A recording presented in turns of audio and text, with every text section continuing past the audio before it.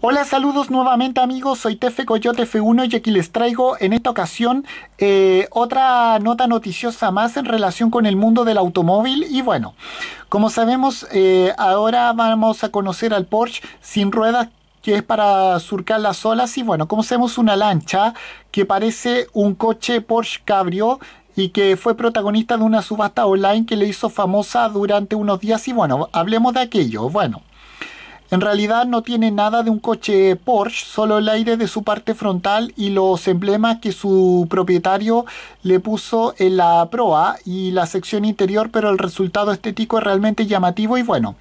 Al primer dueño eh, de esta lancha, eh, Craig Craft, 168 voz, año año 1995 se le ocurrió imaginar cómo sería la mezcla de un coche Porsche de los 1990 como con un eh, barco veloz para divertirse por las olas y lo hizo realidad. Este barco eh, Porsche estuvo durante más de 27 años guardado y hace unos días salió a subasta en el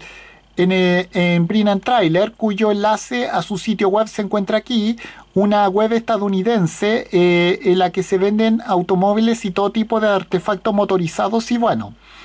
El casco hecho con fibra de vidrio 16 pies, uno lo que equivale a 4,80 eh, metros, recibió algunas modificaciones para darle una estética de un coche Porsche, tanto en la parte frontal como en el perfil lateral, con faros marca Bosch, eh, retrovisores y pilotos posteriores, similares a los de un coche deportivo de los 1990, aparte de el, logotipo eh, de la marca automotriz alemana en el capó y la iluminación obligatoria, aparte del logo de la automotriz alemana en el capó y la iluminación obligatoria de navegación y bueno, el parabrisas laminado procede de un coche descapotable y se adaptó a este barco para acentuar su estilo Porsche bueno, el casco carrocería se pintó en una combinación con negro y amarillo bastante al estilo del final del siglo anterior. Eh, también equipa un anclaje eh, posterior para la práctica del esquí acuático y bueno,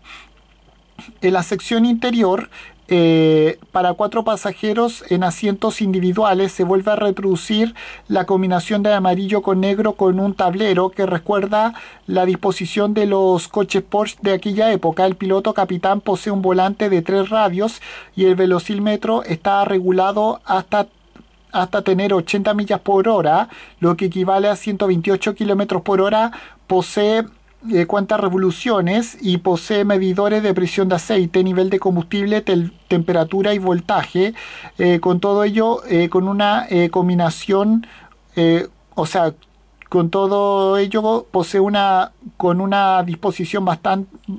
también similar a la de un modelo de Porsche y bueno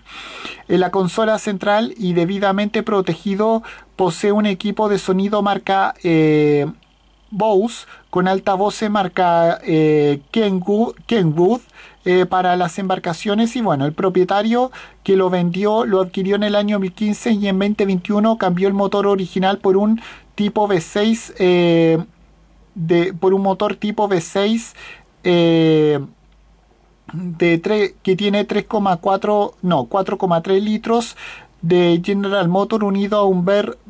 Berkeley eh, Jet Drive 12JAE. Eh, Luego de este cambio de motorización, su dueño eh, afirma que desde aquel entonces solo funcionó por tres horas